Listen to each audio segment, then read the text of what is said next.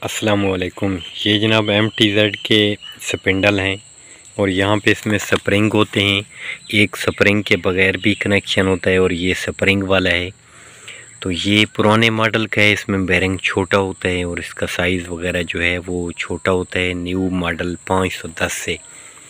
تو یہ بھی چینج ہو جاتے ہیں کباڑ میں اگر یہ دیں تو پندرہ سے بیس ہزار روپیہ لگتا ہے اور نیو ماڈل پانچ سو دس کے وہ چینج کر کے دے دیتے ہیں۔ تو یہ پرانے ماڈل کا بیرنگ بھی چھوٹا ہوتا ہے یہ والا، اور جو اندر والا بیرنگ ہے وہ بھی چھوٹا ہوتا ہے، اور سپنڈل بھی جلد اس جگہ سے ٹوٹ جاتے ہیں، یہ جگہ کمزور ہوتی ہے۔